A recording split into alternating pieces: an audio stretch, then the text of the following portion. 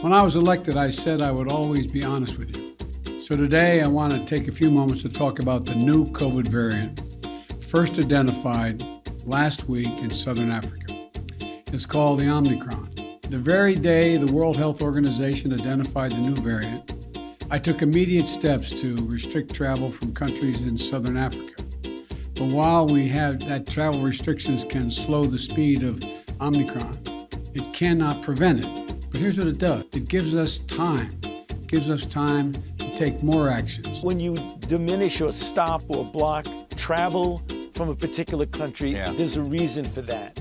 It's to give you time to do things. Mr. President, what's your message to Americans who are trying to get tested now and who are not able to get tested and who are wondering what took so long to ramp up testing? Come on, what took so long? I'm I'm hearing that from people who are trying to get tested now before the holidays.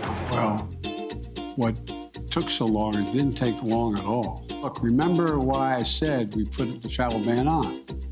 Is to see how much time we had before it hit here so we could begin to decide what we needed. If you go to the pharmacy, we hear this over and over again empty shelves, no test kits. Is that a failure? No, I don't think it's a failure.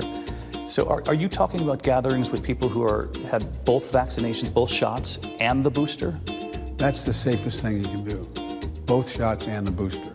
Marin County's health officer says all of the guests at this indoor event were vaccinated. Many were boosted, and still 28 people came down with COVID 19. Nearly half of the people who attended got COVID, even with vaccination and testing requirements to attend.